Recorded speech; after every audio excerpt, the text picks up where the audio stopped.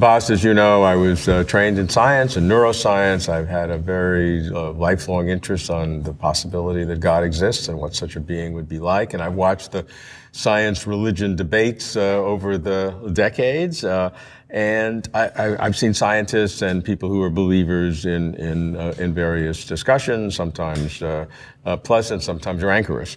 Um, question I want to ask is what's the role of philosophy? And you're a hmm. philosophy mm. of science, you're a believer. Mm. what can philosophy, um, how can it help this dialogue between science and, and theology? Well, I think that the answer is the same for theology and for science, how, how philosophy can help. And it's a very modest answer. Um, make straight the way of the Lord, um, as uh, John the Baptist says, right?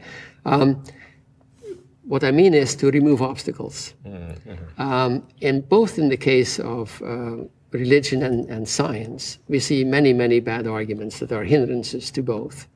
Um, in the case of science, we have the science skeptics and climate deniers, and they use bad arguments. They are convinced by bad arguments. Uh, philosophers can step into the discussion and clarify and uh, show up the fallacies. Now, on the other side, too, um, the new atheists, for example, um, they have arguments against uh, uh, the very possibility of a rational uh, person believing, being a believer. And again, uh, a philosopher can step in and uh, confront these arguments. Now, Gary Gutting here at the University of Notre Dame, uh, he wrote um, a, a, column in the New York Times, The Stone, yeah, yeah. and he mentioned that Dawkins has some very bad arguments immediately there was an enormous response by readers saying that he was wrong. And so he wrote another column to show just what the bad arguments were. Mm. Now, I think that is a service to uh, religion in this case. It's only when we can remove obstacles that there's going to be a possibility of actually bringing uh, contact between science and uh, theology. And that means that science should be cl clarified and it should be cleared of scientism and uh, scientism being the worship of science. The worship, the, right, and the and the idea that that is all there is. And that the only way to access any kind of truth is through science. Exactly. The, this kind of limiting uh, role of science. And in the case of theology, uh, again, the, there are obstacles that make it very difficult for religious people often mm. to accept mm. certain uh, things that come out in science. Um, but uh, if a philosopher can do his work there, he can remove the barriers. Now, you are uh, uh famously and well deserved uh, rec recognized as one of the great philosophers of, of science, and particularly having made um, um, uh, um, legitimate an anti-realist position for science, which had fallen into, into some somewhat disregard until you came along to show show this. And now, not that everybody believes what you say, but it's a very important and legitimate position to understand deeply what science is by your anti-realist position, and people admire you for that.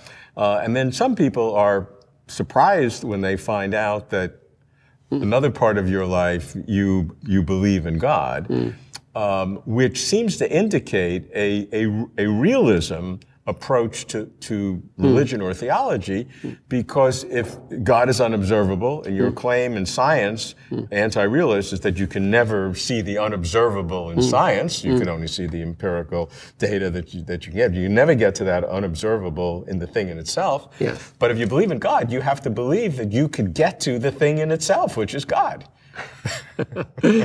um, you know, um, I, I, asked the same question of Michael Dummett, uh, the Oxford philosopher who was an Orthodox Catholic and, and a much more extreme anti-realist than I will ever be.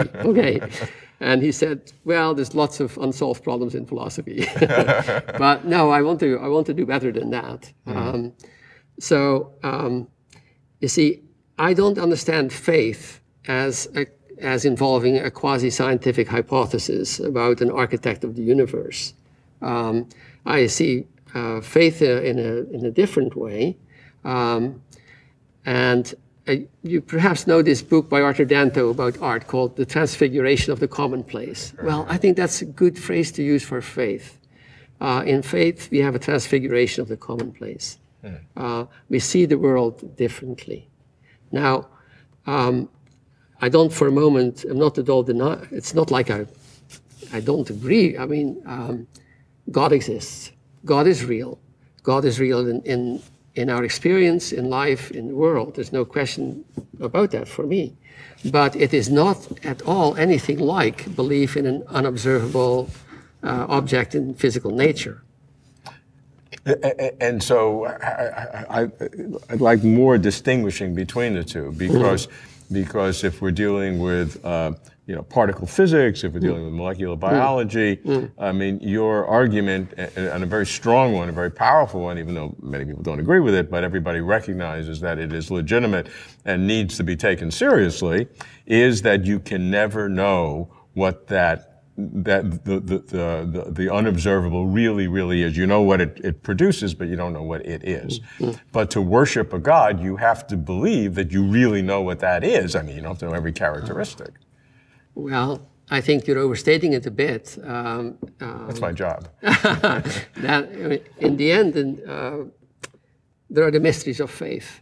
Okay. And uh, the idea of understanding God is much more common for an atheist to think that he knows what God is than for a believer. Okay, that's very interesting. Yeah, yeah expand uh, that a little bit.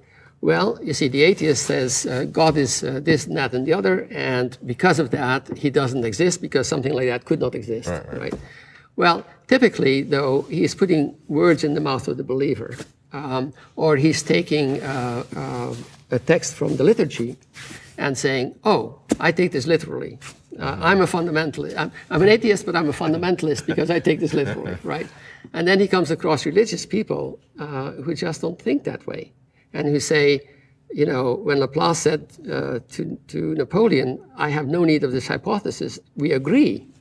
There's not any need for another hypothesis to add to science in order to understand the natural world. That, that addition being God. Yeah. Exactly, right. exactly.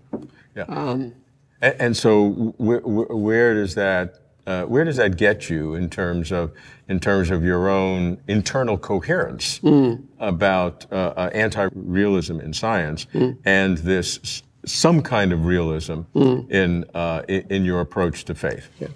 So what what I think about in that case is uh, experience, uh, the experience of finding yourself in a sacred place, um, the experience of somehow a personal encounter um, that is afterward is not uh, something easy to describe. And if you describe just you know feelings and such, then the psychologist will go and say, "Oh, I can study that," right?